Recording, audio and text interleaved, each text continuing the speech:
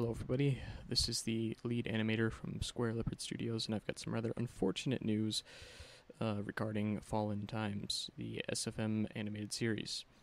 Uh, I've canceled it slash delayed it till probably late 2015 or early 2016.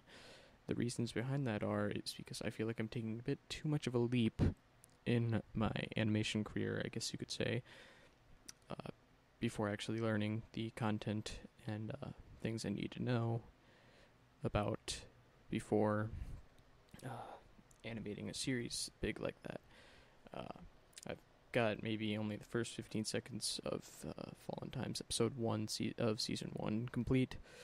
Uh, it's not too much, and it would be definitely better when I am able to sort it out and find voice actors for it.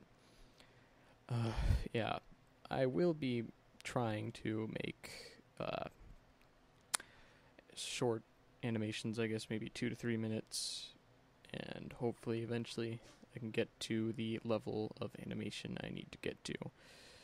Uh, uh, you know, people like DP Films, that entire place, they've got amazing animation, or Mendelvis, his HL2RP in a Nutshell series made with SFM.